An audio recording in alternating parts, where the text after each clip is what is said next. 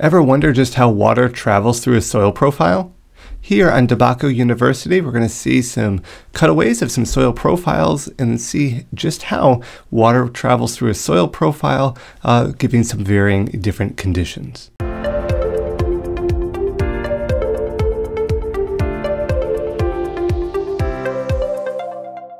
right, let's get into how water travels through a soil profile. Well, first off, special thanks to this video here that is uh, provided in information because this uh, is the video where I captured many of the screenshots that we're going to see here uh, presented. So if you want to look at the original, by all means, look at the uh, reference below and look at the direct link there as well. So getting to how water travels through the soil profile, keep in mind that water does travel in a unique way through soil. That depends on the composition of that soil and also the potential layers of different soil types that may exist. We're going to see this in a couple examples. Now looking at the soil profile in general a lot of times soil scientists will refer to horizons. The O horizon being the organic or very, very top layer here, the A, which is the surface layer, B, subsoil, uh, C, we're getting down into that deeper areas, typically where roots do not travel, and R down here, we see the bedrock. So this is why understanding the type of soil that a grower has is important as it will influence how water it moves through it. Also due to different soil types, this is why what may work for one grower may not necessarily work for another when it comes to irrigation frequency and also duration. So keep that in mind. A lot of it has to do with just how water travels, which a lot of growers really don't necessarily understand. So first off, we want to consider capillary action. So what just is capillary action? Well, kind of it's shown here in this kind of example that we're saying. Capillary action basically is the ability for a liquid to flow in narrow spaces without the assistance of, or even in opposition to, external forces such as gravity. It occurs because of the intermolecular forces between the liquid and surrounding solid surfaces. So what we're looking at here is we see kind of a see a glove, we see kind of a clear, what looks like a piece of glass, and we see this kind of blue liquid here. Well, what's happening is down at the bottom, there is a blue liquid, and there's actually two pieces of glass. And what the person is doing here is they're pinching those two pieces of glass together. As they make those two pieces of glass tighter, as they're going through and pushing those closer, they're reducing the space, and that creating a very small space. And you see pushing here, causing that water to flow against gravity, pushing even tighter, making that space even smaller, there uh, allows that water to travel even further.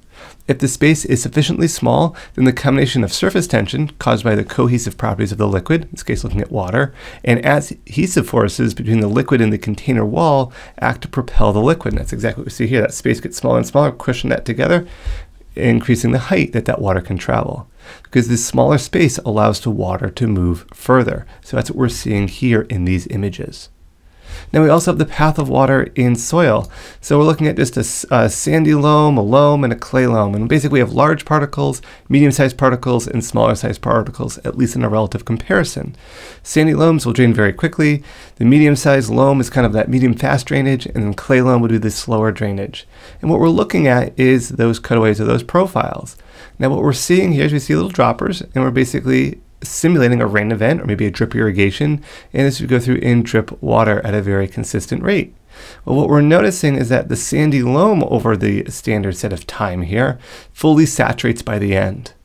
The loam, we see that slower, and of course the clay loam much more slower to kind of have that water percolate through.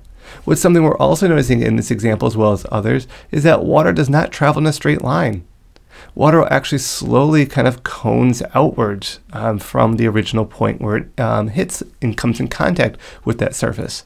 This is why when we're looking at drip irrigation, we can have those drip irrigation lines spaced further apart. And even though the very surface may appear dry, what happens is the coning effect here of the water saturates the area or the root zone. It's a very important concept that a lot of growers uh, forget about or uh, don't fully understand, is that we're seeing this coning effect of that water kind of starts here, starts here, starts here, and starts coning out. And this is how we're able to saturate the uh, root area, the root zone, with the irrigation water. Why we don't need irrigation lines right next to one another. They can be spaced out. And that distance will depend on the exact soil type because that's going to affect the degree that that cone will go out. Now here we're looking at an example. We're starting uh, up here. So we're starting basically right where I am. We have a deep sand layer and how does that impact? So in this case we have loam, we have a sand layer, and we have loam again. So same soil type with a sand barrier and then loam. What we're noticing is we're seeing that same coning effect here. We're seeing that soil starting to kind of go out. Here it's just coming uh, initially in contact with that sand layer. What we notice with that sand layer is that it actually is a little bit of a barrier. It prevents that water really from percolating through as it normally would. We're seeing here spread out as well as here again. And here we're seeing it definitely continue to spread out. But between the two images between me, we're starting to see a little bit of that saturation penetrate that sand layer. However, once it does penetrate that sand layer, as we see the two images around me now, we are seeing the same coning effect located below that area. But keep in mind that here that top layer is fully saturated. See that spreading out from that uh, single point of entry, spreading out this full area. Then it kind of breaks its way through in that center point, and then we're seeing the coning effect repeat itself again. So it's very important to understand now what soil type you have this at the top. But if there's a a different layer there, if there's a barrier there, if there's a different uh, type uh, that occurs, that can really impact the way that this water percolates through the profile of the soil. Now, lastly, uh, in many fields, they have to deal with what's called um, a hard pan. And this is uh, considered the clay layer, as we see here. So we have loam again and loam again. In this case, instead of sand, now we have a clay layer. Consider this to be like a hard pan. And this is commonly found in tilled or plowed fields, where we have that equipment constantly going over that certain depth, and at that bottom, where that scraping occurs, we kind of get a little bit of that hard layer.